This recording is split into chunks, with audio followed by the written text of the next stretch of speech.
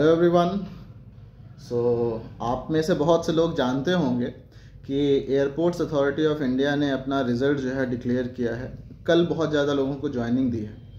आ, मतलब कल की डेट में लेटर आ, मेल किया हुआ है ज्वाइनिंग ट्वेंटी थर्ड को दिया है। कुछ लोगों को नौ जनवरी को दिया है कुछ को सोलह जनवरी को दिया है कुछ को दो जनवरी को दिया है। तो मेरा भी उसमें लखनऊ में ओजेटी आया हुआ है। अब मेरा इस वीडियो का मकसद सिर्फ़ ये है स्पेशली उन लोगों को बताना जो मुझे एज अ टीचर के रूप में जानते हैं राइट जो मुझे ये जानते हैं कि मैं इसके पहले बायजूस में पढ़ाता था, उसके पहले मैं वेदांतों में था, फिर उसके पहले आज आस्का एटियंस में मेरिट नेशन में अवंती में राइट तो मैंने आई आई के लिए मैथ फिजिक्स पढ़ाया हुआ है। तो बहुत सारे लोग एक्चुअली शॉक्ड हैं थोड़ा सा। शौक इसलिए है कि सर आपने अचानक से अच्छा खासा चल रहा था तो आपने अचानक से क्यों ए टी ज्वाइन कर लिया?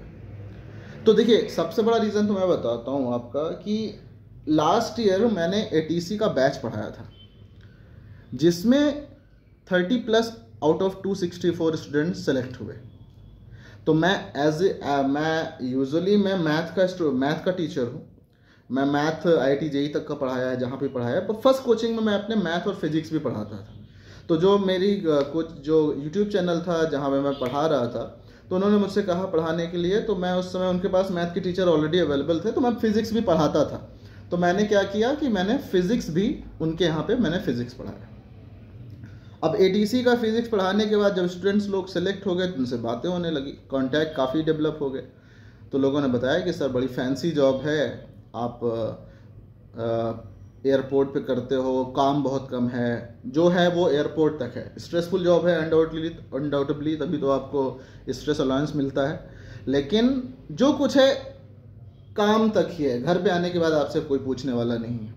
और रही बात टीचिंग तो टीचिंग तो मेरे जीन में है राइट तो वो तो हम कहीं से भी कर सकते हैं, आपका मदद करना चाहेंगे तो हम कहीं से भी कर सकते हैं।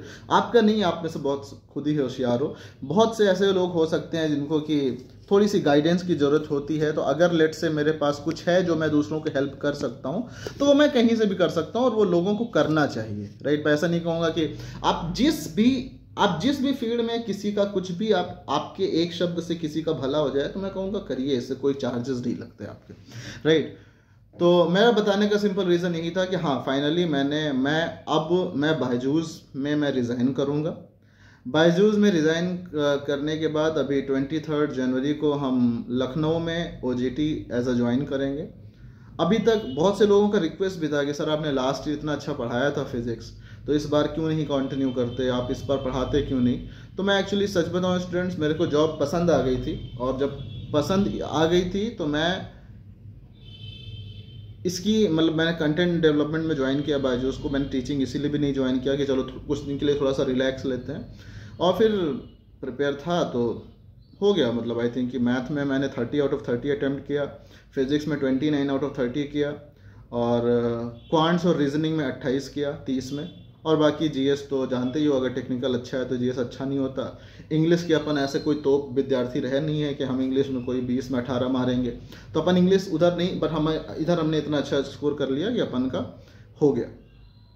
तो मेरा उम्मीद रहेगा कि मैं आपसे आने वाले टाइम में, मैं यहाँ इस वीडियो का मकसद ये है कि देखिए, आप हो सकता है कि आप बहुत पैसे कमा रहे हो। मैं एटीसी में ऑब्वियसली एटीसी में आऊँगा तो सैलरी कम होगी राइट बट उससे मतलब अब आप कहोगे, सर, सैलरी कम होगी। मतलब एटीसी में सैलरी कम है? नहीं एटीसी में सैलरी कम नहीं है। आप अगर नॉर्मल गवर्नमेंट जॉब को देखोगे तो उनके कंपैरिजन में आपको एटीसी की सैलरी अच्छी है। पाँच दस हज़ार इधर उधर होने से आपको कोई फ़र्क नहीं पड़ता है। आपका मेन चीज़ होता है कि A T C is a very fancy job आप कहीं पे जब रहते हो ना तो आप लोगों को, भले लोगों को पता नहीं है बट जब बताते हो कि आप ये काम करते हो तो उसको हाँ अच्छा ये काम करते हो। तो इस तरह की जॉब है थोड़ा सा वो डिफरेंट जॉब है। तो मेरी उम्मीद रहेगी कि मैं आपसे कनेक्टेड रहूँ, मेरी उम्मीद रहेगी कि मेरे पास एक परसेंट भी है तो मैं आपको ट्रांसफ़र कर सकूँ। आपका, मैं चाहता हूँ, मैं पहला मैंने जस्ट ये बताया स्पेशली उनको फोकस करके कि जो मेरे स्टूडेंट थे और चाह रहे थे कि सर आप कहाँ हो और क्यों, क्या नहीं कर रहे हो तो मैंने इसलिए बताया कि आप जो है जाने और और अगर आपका कुछ भी आपको लगता है कि सर एग्ज़ाम रिलेटेड देखो, अभी अभी बोलोगे कि मैं पढ़ा दूँ सारा कुछ, मैं कोशिश करूँगा बट आई कांट से कि मैं कुछ अभी क्योंकि जॉब ज्वाइन हो जाएगा। जितना हो पाएगा, मैं आपका हेल्प करने की कोशिश करूँगा। बट हाँ मोस्ट इंपॉर्टेंट आपको अगर लगता है कि सर प्रिपरेशन कैसे, आपको मैं क्या बताऊँ? आपको जो डाउट लगता है, अगर आप पूछोगे, अगर मुझे लगता है कि मैं आपका हेल्प कर सकता हूँ तो I will be the happiest person to help you मैंने बायजूस को मैं छोड़ रहा हूँ। अच्छा अच्छा खासा चल रहा था। आई टी जी का मैथ पढ़ा रहा था। Everything was settled but ultimately कहते हैं ना कि हर कुछ कभी कभी पैसे कभी कभी माँ बाप की खुशी ना पैसे पे भारी पड़ जाती है।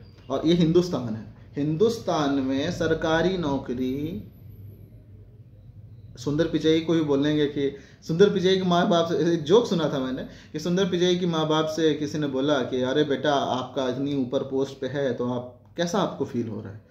बोलता हाँ बेटा, हमारा बहुत अच्छा था थोड़ा सा और मेहनत कर देता तो सरकारी नौकरी लग जाती। राइट तो ये है, मैं सरकारी नौकरी, ऐसा नहीं है, मैं प्राइवेट का बुराई कर रहा हूँ, मैं खुद कारपोरेट से आ रहा हूँ। तो उसका आप उसको एक साइड रखिए, आपका अगर ड्रीम है एटीसी तो A T C very good job और it's very hot job these days बहुत जल्दी जल्दी वैकेंसी निकाल रही है तो क्यों नहीं कि आप, अगर आपका मैथ फिजिक्स है, आपको जो भी है, आपका मैथ फिजिक्स में अगर थोड़ा सा भी कमांड है तो आप उसको मेहनत करके अच्छा कर सकते हो। मिलते हैं आपसे नेक्स्ट वीडियो में, लेकिन तभी अगर आपको लगता है कि आपको कोई डाउट है, आप पूछते रहिए तो मैं कोशिश करूँगा आपका हेल्प करने का। राइट मिलते हैं नेक्स्ट वीडियो में बाय बाय